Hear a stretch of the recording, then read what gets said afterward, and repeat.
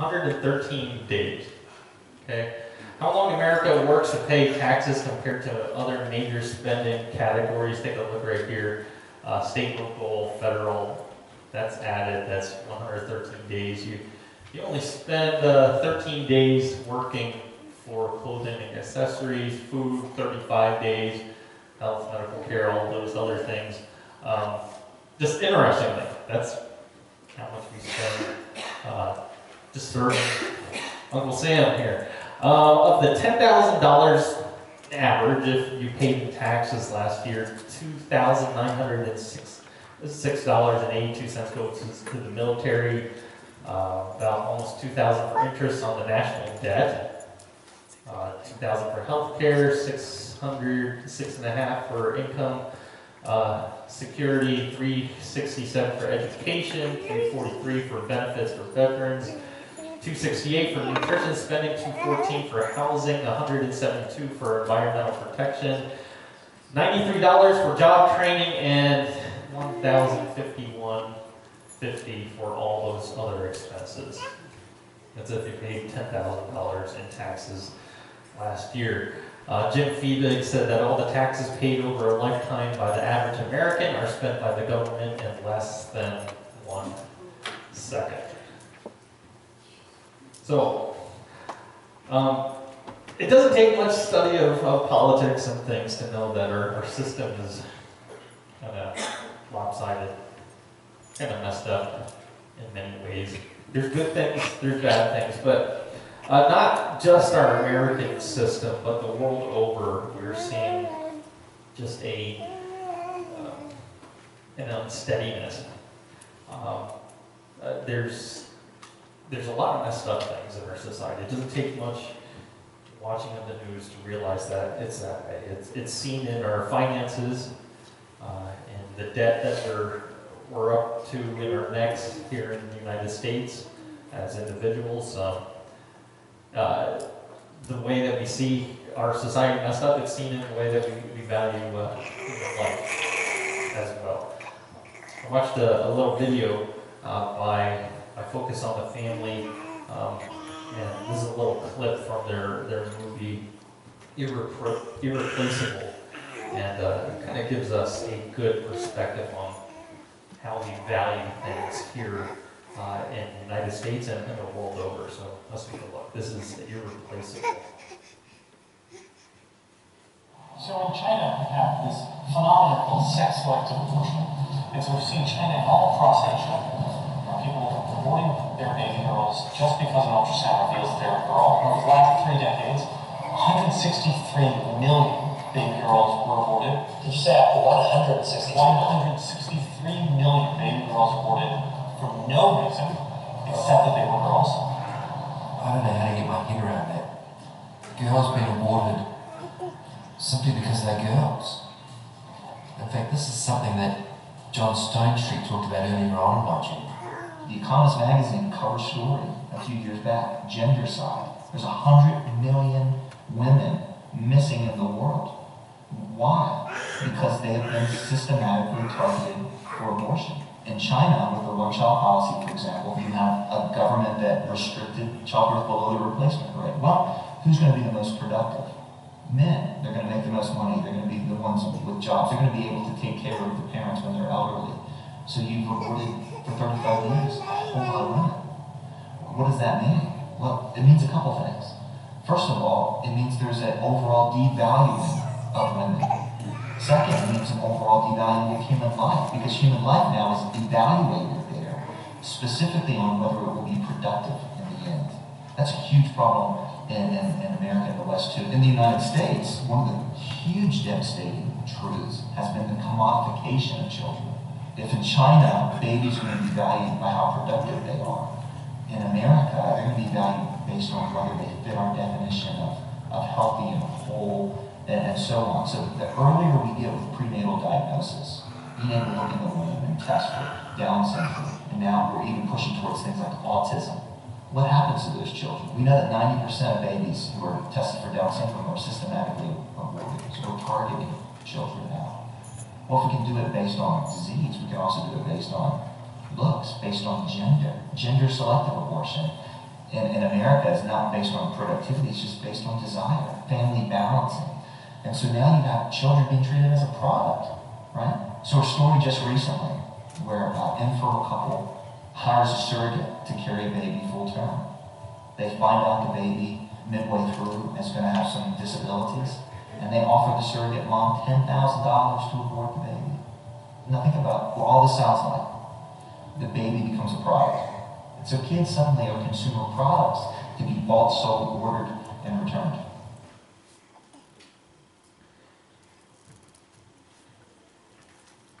Hundred and sixty-three million.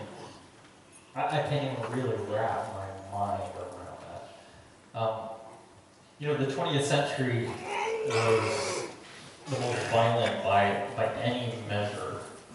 Um, let me kind of put all of this into a little bit of perspective. Um, I have a little, little visual that I, I put together. For every little cross that you see right here, see those little, little teeny tiny crosses right there? That represents uh, how many? That represents about 5,000 people that that have died. Okay, this is from the American Revolution. There's about five little crosses right there. Um, I'll go through all of these. Um, right here we have the Vietnam War. Uh, you know, 56,244 right there. The Korean War, 54,000. Uh, in the 2003 Iraq and Afghanistan War, 6,845. There's two little crosses right there. Um, World War One. Well, let's see. Uh, World War Two. That's right there. That's 405,399. The Civil War. That's uh, 863,153. Right there. And we do these other ones, and I'll, I'll mention them here briefly. But uh, World War One, that's uh, 11, 116,516 right there. Uh, the Spanish American War, we have one little cross right there for 2,446. Um, Panama Invasion, 23. And the War of 1812, there's 2,260 cross right there. Let's put that into perspective of what we see. This is legal abortion. This is 56,662,169. This is four and a half pages of crosses. But it goes a little bit further right here. Guttmacher said that worldwide there are 40 million abortions a year. It would only take 25 years to eliminate 1 billion babies. And since the abortion business really took off around 1960 or so, we have probably eliminated nearly twice that number, or 2 billion unborn human beings. That is 158 pages of crosses. Right there. Kind of puts things into perspective, huh? That's 2 billion just from 1960. Those are the recorded ones since 1960. I was over at Gary and Linnaeus this past week watching the, the football game, and uh, uh, Linnaeus' uh, father said something very interesting. He said, Why have we not been judged yet? If we have committed the atrocity of destroying two billion souls on this earth, why have we not been judged yet? My answer to that is I, I don't know. But what I do know is that from what we studied last week is that the wrath of God is filling up. That the harvest is getting overripe. That the grapes are at their prime and there's going to be a reckoning for all that we have done and committed against God. Not just wanton murder, but all of our sins have piled up. And God says, there's going to be a reckoning for all those things. What we're going to take a look at here in chapter 15 of the book of Revelation is the beginning of that reckoning.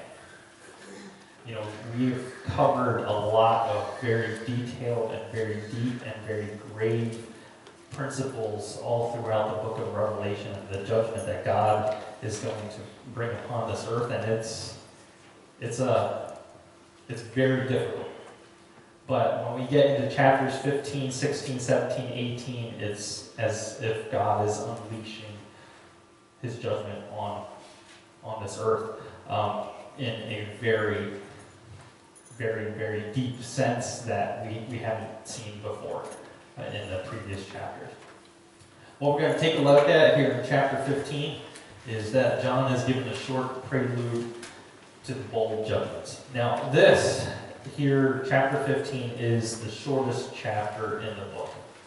Um, and in it, we see the contrast of the corrupt government of the Antichrist in comparison to the righteous the righteousness that, that Christ will impart. And this kind of brings us to the, the halfway point of, of all of our studies right here. We have about nine weeks left in the book of, of Revelation. Now, what we're going to do here is I'm going to give a little bit of brief timeline of what we've already covered and then what we're going to be digging into here uh, shortly.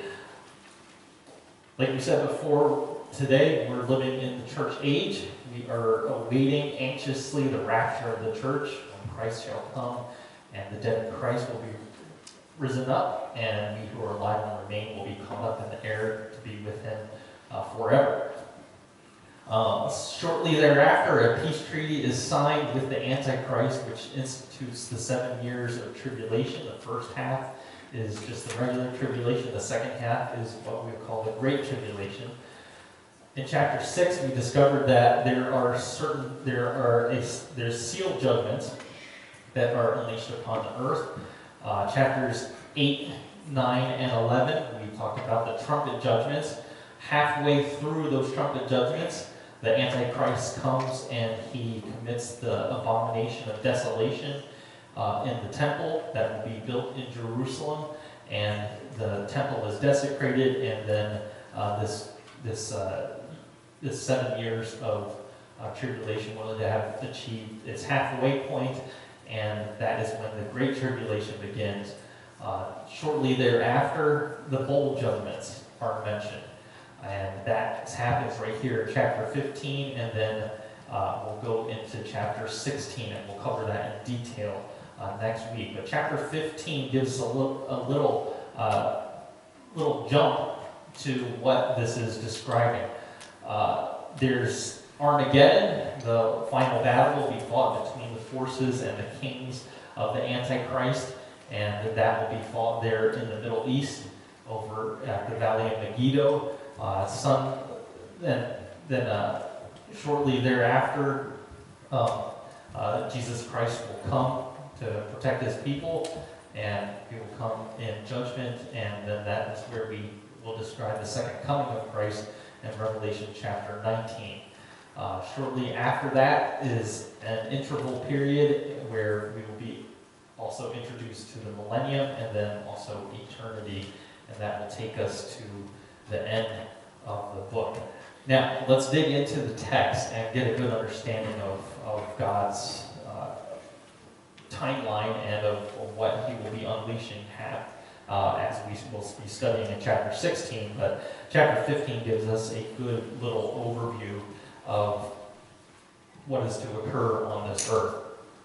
There's no specific outline that I've put together because this is kind of a very short book. So, kids, if you're following along on your outline, just fill in a little something uh, in those that empty space and, and things that you have learned and have absorbed, and uh, then we'll then just hand those in, and we'll love to see what, what you guys uh, put in there. Um, start here verse number one, and then we get a good view of what introduces uh, these bowl judgments. Look at verse 1. It says, I saw in heaven another great and marvelous sign seven angels with seven last plagues. Last, because with them God's wrath is completed.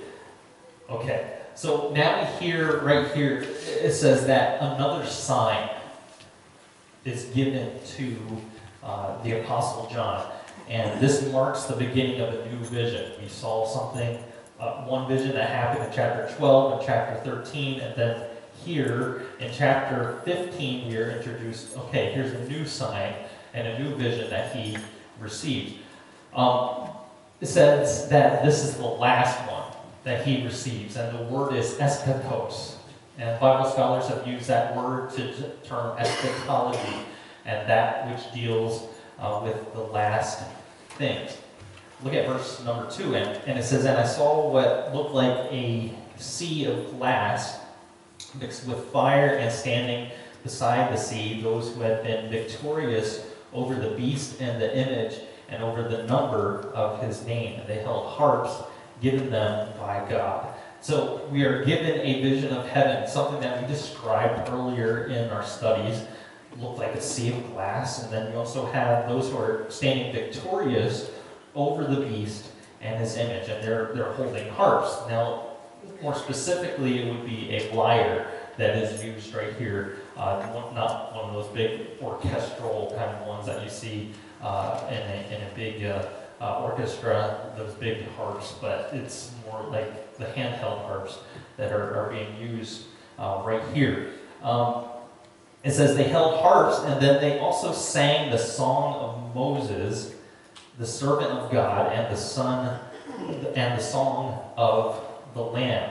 So you have the song of God's servant Moses and of the Lamb. Now, commentators offer several theories for the identity of these songs, and most agree that the Song of Moses uh, probably incorporated lyrics from one or both of the two Old Testament passages from Exodus 15 and Deuteronomy chapter 32, verses 1 to 43. In essence, these songs refer to deliverance from Egypt through the ten plagues and God's defeat of the Egyptian army and Israel's preparation for entrance into the promised land.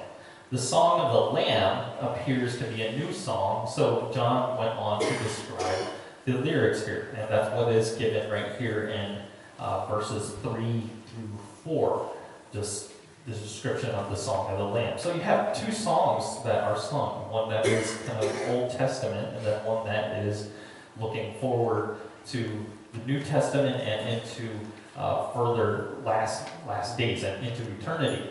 Um, a commentator by the name of Phillips in his book uh, Exploring Revelation says that the Song of Moses was sung at the Red Sea, the Song of the Lamb is sung at the Crystal Sea. The Song of Moses was a song of triumph over Egypt. The Song of the Lamb is a song of triumph over Babylon. Um, the Song of Moses told how God brought his people out. The Song of the Lamb tells how God brings his people in. The Song of Moses was the first song in Scripture. The Song of the Lamb is the last. The Song of Moses commemorated the execution of a foe, the expectation of the saints, and the exaltation of the Lord. The Song of the Lamb deals with the same three themes. So what is used here is that you have one that encompasses Old Testament world and now into the New Testament. And so it is, this entire song is one that speaks of the entire plan of, of God uh, in this world. Um, look at the, the text of what is being sung here. It says that great and marvelous are your deeds, Lord God Almighty. So he uses a covenantal name to describe his awesome deeds. Just and true are your ways, King of the nations. Who will not fear you, Lord, and bring glory, bring glory to your name? For you alone are holy. All nations will come, and they will worship before you, for your righteous acts have been revealed. Now, there are certain there's some certain terms that I like to pull out of this this uh, description of of the Lord. It says right here that let's take that little second part. It says, "For you alone are holy," describing His holiness, His perfection. All the nations, not just some of the nations, all the nations are going to come and they're going to worship before you. They will be uh, humble before God and because of all of your righteous acts, which are speaking of his judgments, which are speaking of his, his uh, grace. All those acts have been revealed, and all the nations, because of what has occurred, they will bow down and worship before the Lord. Now, right here in the middle of, of the text, it says that, and this is an important principle that we need to kind of take a hold of. It says, Who will not fear you, Lord, and bring glory to your name? Now, we have to get a good understanding of what, you know, we use that, the, that terminology, fear. Fear the Lord. You know, we say, oh, that, that woman, that's a, that's a God-fearing woman. Now, what does that mean? We kind of throw that around, but let's get a good understanding of what it means to fear. Okay, the, the Hebrew equivalent of the word fear is the Hebrew word Yahweh. Okay?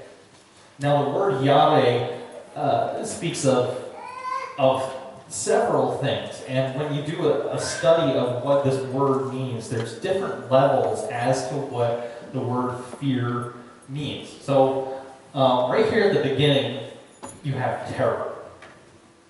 Okay, so it says that we should fear the Lord. Now, that's the first idea that pops into a person's mind. You think fear, terror. Now, that is the kind of imagery and it's the kind of relationship, like, for example, like what a, a Muslim would have with their figurehead, which was which is Allah, and it would be a kind of a slave master kind of relationship. It's a terror kind of relationship. It's a it's a fear driven one.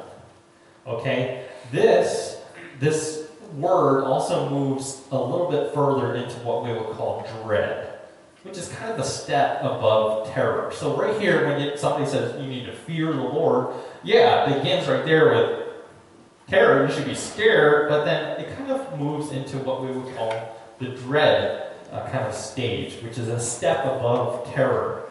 Um, it, it, it, it kind of says, I'm going to serve God because I know the consequences of what will happen if I don't serve Him. It's kind of a dread. Um, it's kind of like, for lack of a better example, like uh, me and the kids are at home and we've made a mess, and Christy says, "Okay, you guys need to clean this mess up, or you're going to be in trouble," or something like that. And and we are like, "Oh man, we're gonna we, we better clean this up because because of the consequences. Because you know, if mom ain't happy, nobody's happy. Things like that. No, no, she's actually really, really easygoing like that. So, like I said, lack of a better example. but fear of the consequences, that's what dread kind of communicates. Um, now, dread, this level of, of fear goes into what we would call trembling. Like, for example, Psalm chapter 119, verse 20 says, My soul is crushed with longing after your ordinances. So there's kind of a, oh, that's what fear, trembling, shaking. That moves into other other principles of shock. And then it goes uh, into astonishment. Then it's further described as wonder and bewilderment. And then, you know, like God is doing something good, and I'm taking a piece of my piece, and I'm, I'm just wondering what I, I fear God. I, I kind of understand who He is, and it's just like, wow.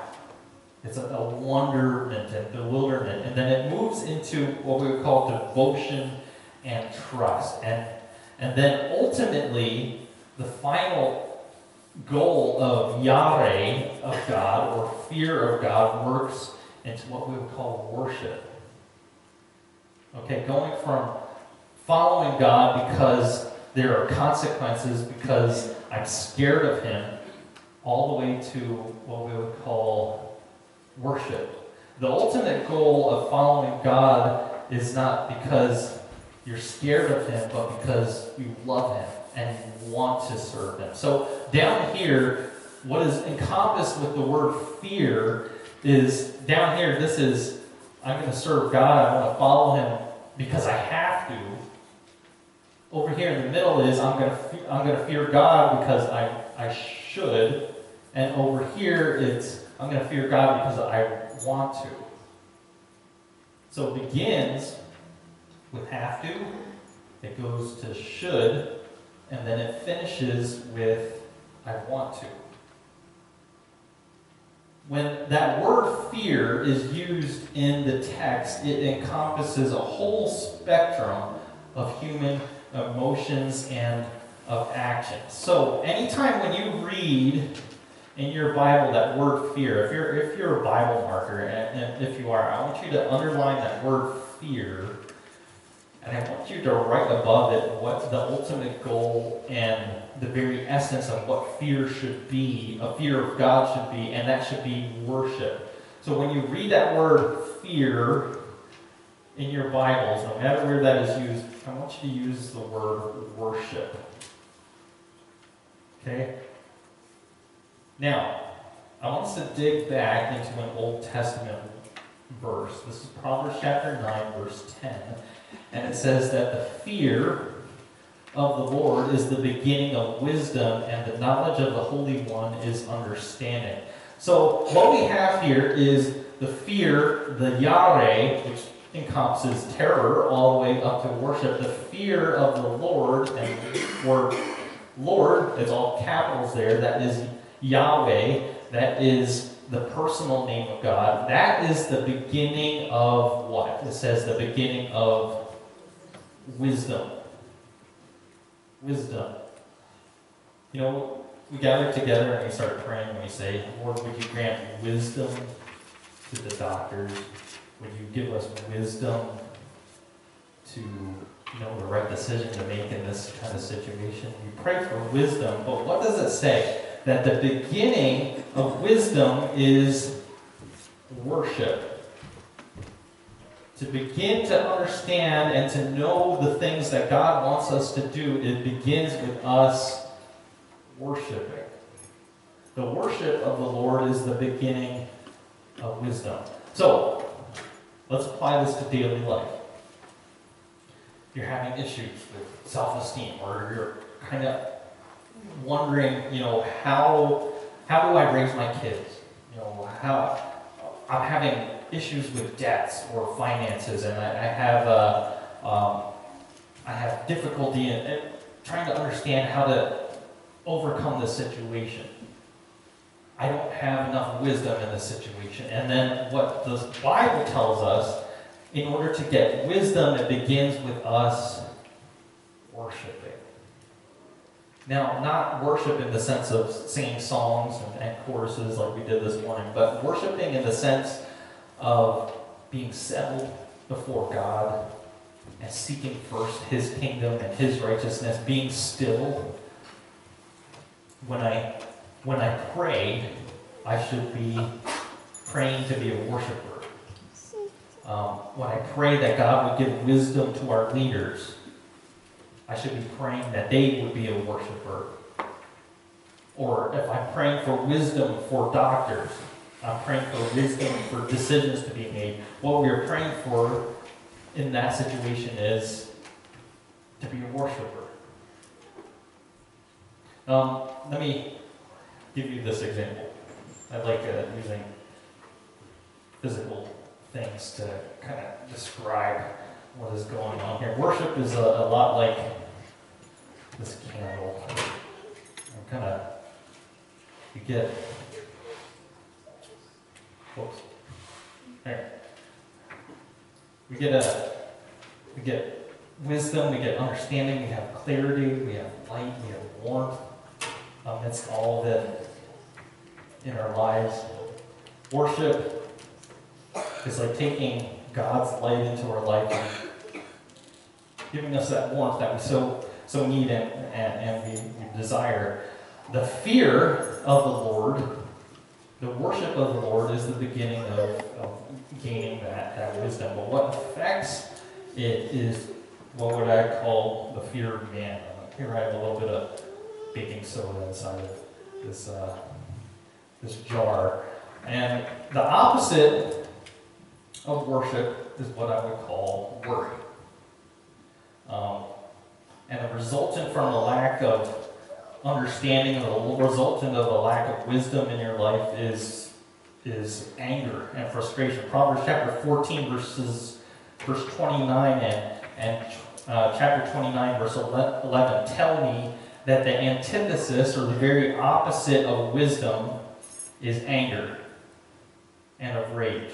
So the opposite of wisdom, having light, is having anger. It's going to be illustrated by this right here. This is a bunch of vinegar in here. And what uh, the kids and I have done, when you have a, when you have anger in your life, when you have a, a lot of unsettled issues and frustrations, it's kind of like us. Uh, the kids and I did this as a little science experiment. We took a, a chicken bone and put it inside of there. And when you're inundated with anger, what results is that you lose all sense of, of uh, you know, strength in your life. It kind of dissolves all that calcium, all the things that make it strong in your life, and that it actually turns this little chicken bone in, into rubber. Um, what happens in your life is that when you're inundated with, with anger, with frustration, with bitterness, is that it just leaches all of those things out of your life, which makes you strong in end. Um, you make this, you take the fear of man, and you take bitterness and anger, which is the opposite of wisdom, which is opposite of worship, and you make that into a caustic combination. So I'm going to add this to right there. We're going to get a little bit, a little bit of uh, messy right there. Uh, but what happens? Whoop, I think we have a towel. Okay. What happens amidst all this is that you have a very, very caustic situation. When the fear of man, thank you, when the fear of man and the anger of our lives is produced, and it doesn't look like very much, but you, you take that and just pour it right in there, just extinguishes all of that, that worship. The antithesis, according to Proverbs, of wisdom is anger, it's the fear of man. The opposite of worship, the opposite of, of uh, having that light in your life is worry and uh, fear. You know, the wisest people that I know today are worshipers. The wisest people that I know that have made the, the best decisions in life are, are ones that are still before the Lord. And they don't they don't have a perfect process of making right decisions, but they they serve and they worship a perfect God. And they let him fill in all the rest of the details. That's whenever you read that word fear, think worship. You need wisdom for this life. You know you need to do is the fear or the worship of the Lord is the beginning of attaining that wisdom and attaining that knowledge. That's a that's a little lesson that I, I learned this past week. That's that's free of charge, right there. But if you want wisdom, you worship. The opposite of wisdom is worry, and it's fear of man. Let's uh let's finish the text right here. Uh, chapter 15, verse 5. It says, After this I looked, and in heaven the temple that is the tabernacle of the testimony was open. So here we have the temple. And here it is, it's a model that is up in, in heaven. Um, you know, the earthly temple that was instituted, it's a model of the heavenly temple. You want to study about that, that's in Hebrews chapter 8, verses 2 through 3. So, you know, those models of the temple that we, we you know, there's the, the first temple that was built, um, and then you have the second that was built by uh, Herod. Uh, there's a third one that will be built. Those are models of the real temple that is up in heaven. You read that once again, Hebrews chapter 8, verses 2 through 3. But here we have the temple is opened up the tabernacle of the testimony was open, verse 6, and out of the temple came the seven angels with seven plagues, And they were dressed in clean, shining linen and wore golden sashes around their chests. Then one of the four living creatures came to the seven angels, gave to the seven angels seven golden bowls filled with the wrath of God who lives forever and ever. And the temple was filled with smoke from the glory of God and from his power. And no one could enter the temple until the seven plagues of the seven angels were completed. Now let's define a couple of terms right here because it's important for us to know as we jump into chapter 16 next week. But it says that these bowls are filled with the plagues. Now the word plague, as used in the text, literally means a blow or a wound. And these judgments are not just long drawn out epidemics. So you're going to see these judgments being poured out like a bowl upon uh, the earth, but it's going to be a sudden and very swift kind of judgment. These plagues are coming with sudden impact, swift, severe, destructive, and they're fierce when it happens. The word bowl used in the text refers to a shallow saucer like dish used for boiling liquids as well as for drinking or, or pouring libations. One dictionary adds that the use of this specific term here in Revelation is suggestive of rapidity or rapidness and its emptying of its contents. So here you have this little bowl, and it's poured out, and so it's a it's has its contents, but the way that it's shaped, it's it's being poured out very quickly, not just being poured out like a big basin, as is most of the most of the, the depictions of what these bowls are like, but it's it's poured out in a very quick uh, fashion. And what these bowls contain are the judgments of God. And we're going to find out about that in, in detail next week. So stay tuned. We'll be back here, same time, same place, and we'll cover in detail what the bowl judgments kind of entail. And you don't want to miss out what, uh, what we're going to study here next week. Um, when I look at all of this, and if you back up here in, in this chapter, it talks about the Lord being the king of the ages. Look at there in verse 3. It says, Great and marvelous are your deeds, Lord God Almighty. Just and true are your ways, King of the ages. Right here in chapter 15, it's recognizing the kingship of Jesus Christ. The past couple chapters that we have covered here in 13 and in chapter 14, uh, we have seen the king of this world, which is what we would call the Antichrist. Here in chapter 15, we recognize the true Christ. So we have the king of the world, and then we also have the king of kings described here in chapter 15. And here in Revelation, the people have a choice. You either will serve the king of this world, or you're going to serve the king of kings. And when I was studying this, I had to ask myself a very honest question. And I'm proposing the same question to you today is who is your king? Who is your king? Who is that final authority in your life? I had to ask myself the question is my life revolving around other things, or is my life revolving around the King of Kings? Does my life revolve around a job or an occupation, or perhaps today maybe your life is revolving around a, a boyfriend or a girlfriend, or a spouse, or a parent, or maybe you have someone who's kind of like your king right now who is kind of been a tyrant.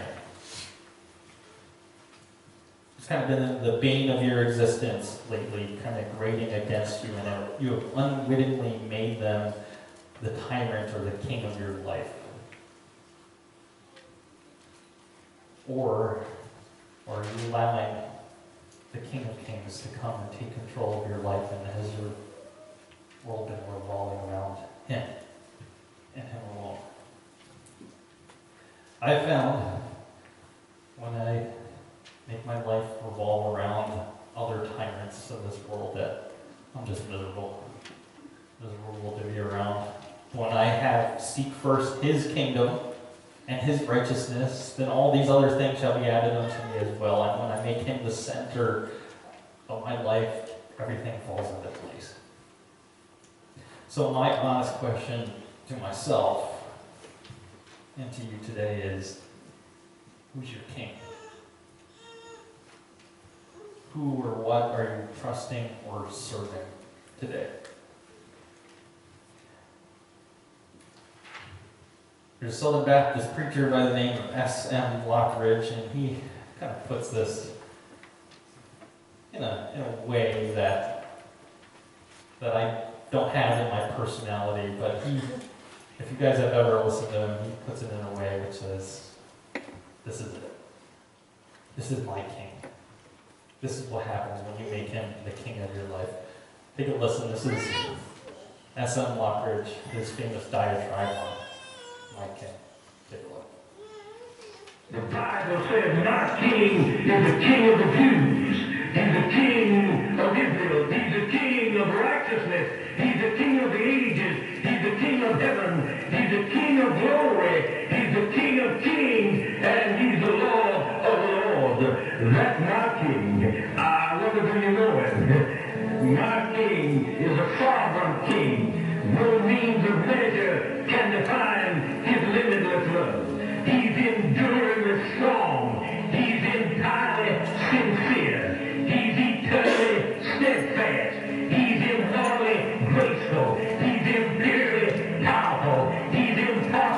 Musical né?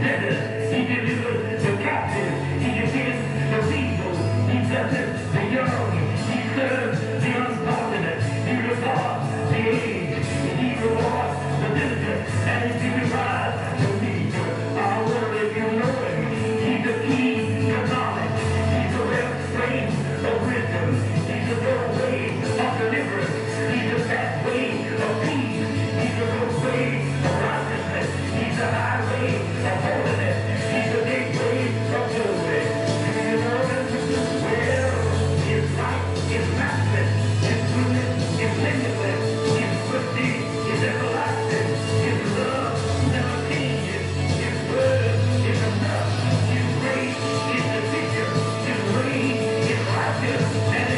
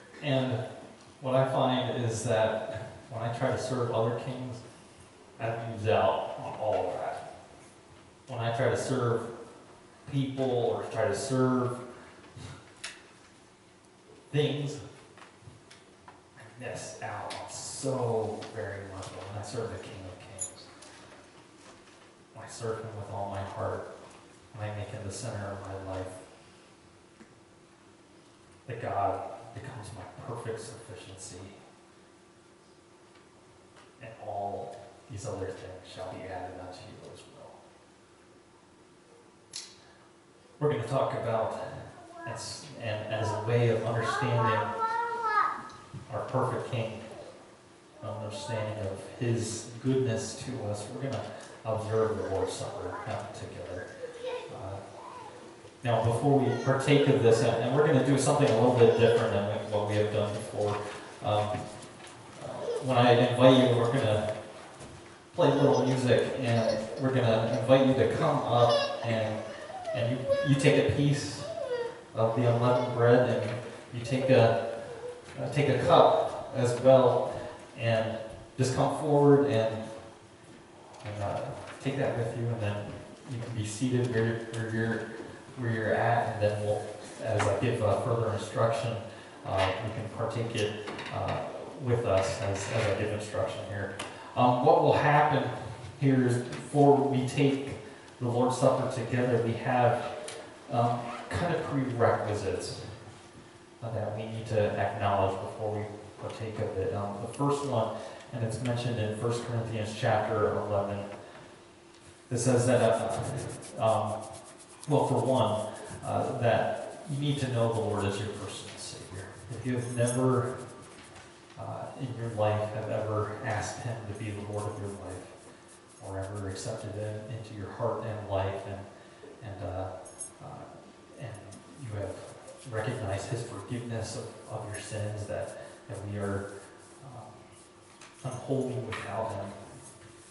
Um, but when we have accepted His forgiveness and believed on the Lord Jesus Christ as the forgiver of our sins, as the final sacrifice for our sins, um, that that recognizes that we have a relationship with Him, and so uh, partaking of the, these elements without having Him in your life, it's it's meaningless.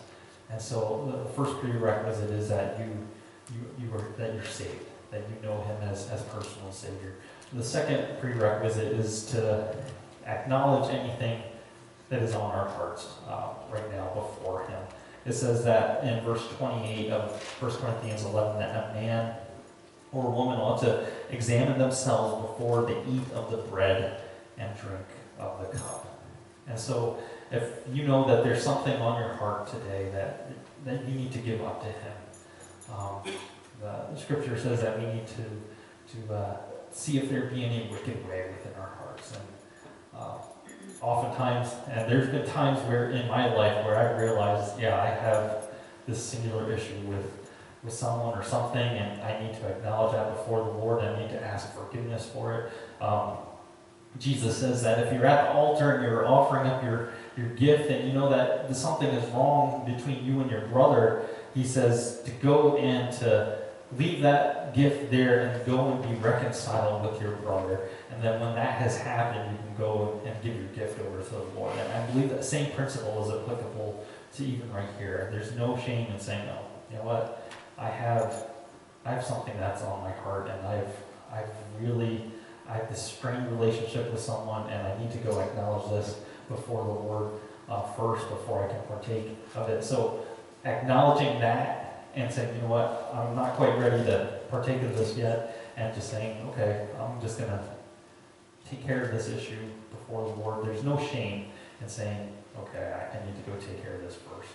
Um, and so, first that, that second prerequisite is that man uh, or follower God ought to examine themselves. And we're going to spend a, a, couple of minutes just uh, asking the Lord to, to, uh, to purify us, to cleanse us. Um, so let's do that just right now. And uh, I'm going to play a, a little bit of music, and then as we're, we're doing that, um, then as, as you feel led of the Lord, I want you to come up you can take a piece and then uh, take a cup and then bring it back to your, your place. And, uh, uh, and then as, as uh, everybody has uh, um, taken the, the elements, and then we'll read the passage and we'll all partake together. And so as this music is playing, let's acknowledge our hearts before the Lord and, and feel free at any time to come forward and, and, and partake of the elements here. So, Gary.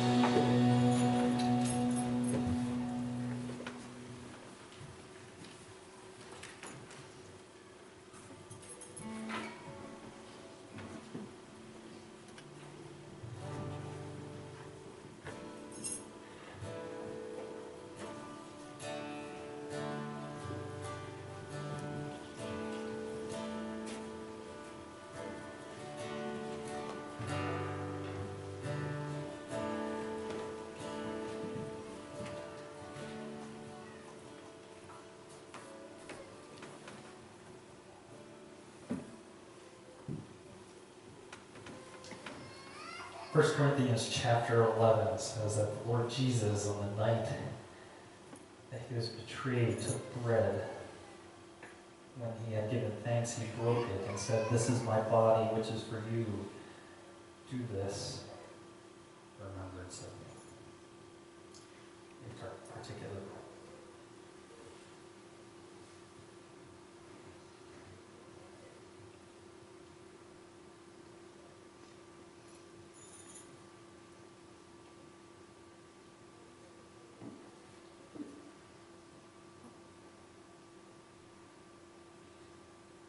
The same way, after supper, he took of the cup, saying, This cup is the new covenant in my blood.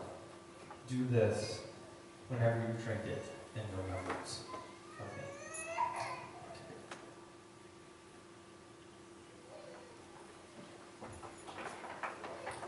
The passage finishes, it says, For whenever you eat of this bread and you drink of this cup, you proclaim the Lord's death until he comes.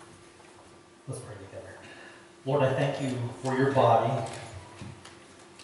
which is represented by this bread. Thank you for this cup, which is representative of your blood shed for us, Lord. And it says that without the shedding of blood, there is no remission of sin. And that, Lord, when they came to to giving up your, your lifeblood for us, Lord, you, you gave it all. And so, Lord, I thank you that no matter what we have ever done on this earth, that you have given us complete, full forgiveness and restoration. You've lavished us with grace upon grace. And that, Lord, uh, we don't have to be ashamed of our past or ashamed of the things that we have ever done, but we can live in full victory because of you. Thanks be to Christ who gives us the victory.